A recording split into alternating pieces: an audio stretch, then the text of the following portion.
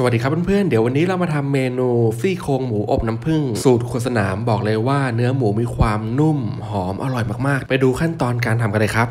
ขั้นตอนแรกนะครับ เรามาปรุงเครื่องกันเลยครับ ซี่โครงหมู 1 กิโลกรัมนะครับ ตามด้วยเกลือป่น 1 ช้อนชา พริกไทยป่น 1 ช้อนชา ซีอิ๊วขาว 2 ช้อนโต๊ะ ซอสหอยนางรม 2 ช้อนโต๊ะ ซีอิ๊วดำครึ่งช้อนโต๊ะ ผงหมูแดงสำเร็จรูป 1 ช้อนโต๊ะ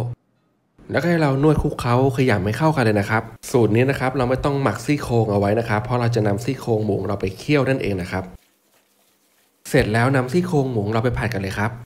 ขั้นตอนนี้นะครับนำซี่โครงหมูเราลงมาผัดให้พอเนื้อสุกตึงๆนะครับ ให้เราใช้ไฟกลางในการผัดนะครับ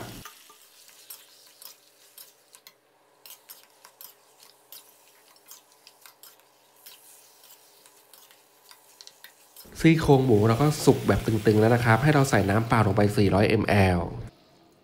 แล้วเราจะรอให้น้ำเดือดก่อนนะครับ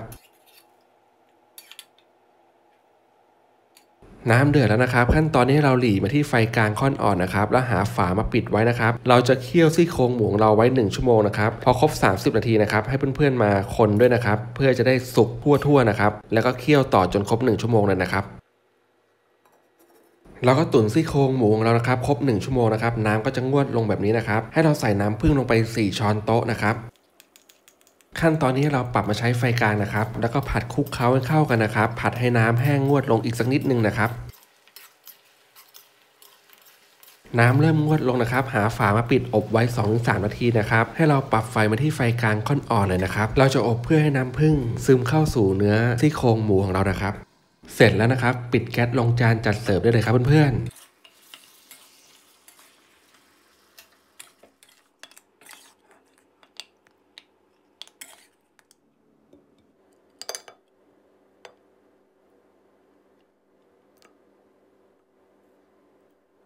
เสร็จแล้วนะครับซี่โครงหมูอบน้ำผึ้งสูตรครัวสนาม สีสันสวยงามหน้าตาน่ารับทานมากเลยนะครับรสชาติก็จะมีความเค็มๆหวานๆและได้กลิ่นความหอมของน้ำผึ้งนะครับส่วนซี่โครงหมูนะครับเนื้อหมูก็นุ่มร่อนออกจากกระดูกเลยนะครับเมนูนี้นะครับถ้าเพื่อนๆชอบก็สามารถนำไปทำทานกันได้ในครอบครัวนะครับหรือจะนำสูตรครัวสนามไปทำขายสร้างอาชีพก็ได้นะครับ วันนี้ผมต้องขอตัวลาไปก่อนนะครับ วันนี้สวัสดีครับ สุดยอดมากครับ เมนูนี้